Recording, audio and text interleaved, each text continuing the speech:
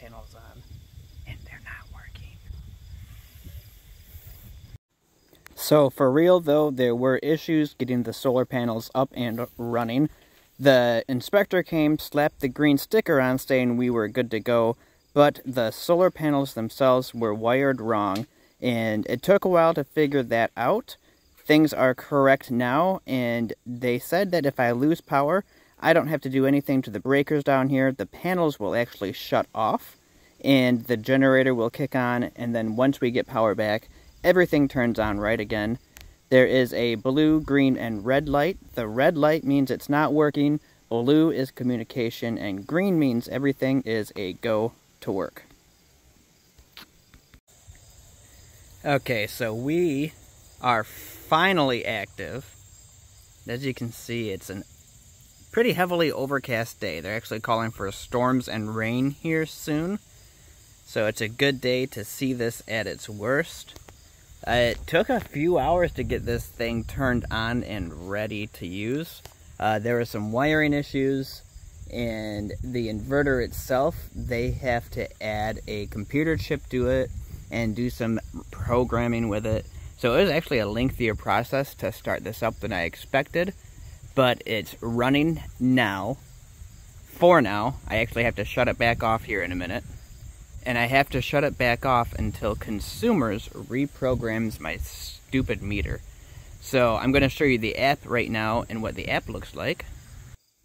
So this is the app for Solar Edge. You got to get it opened up here and the screen and the data updates every time you open it. And then the usage and power coming in changes live while you're watching it.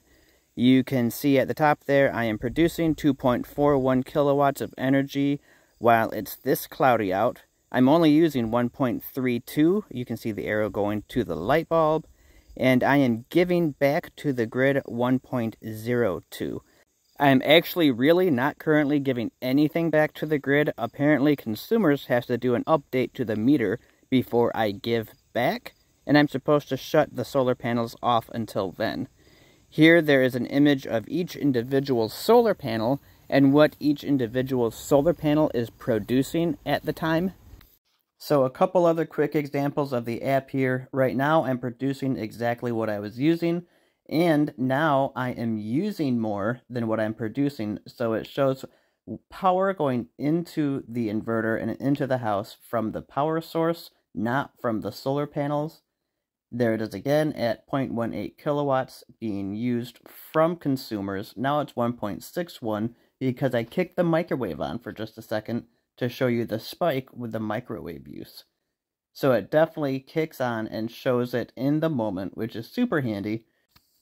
So here we are, almost two full weeks after the solar panel system could be completely active and producing energy for us.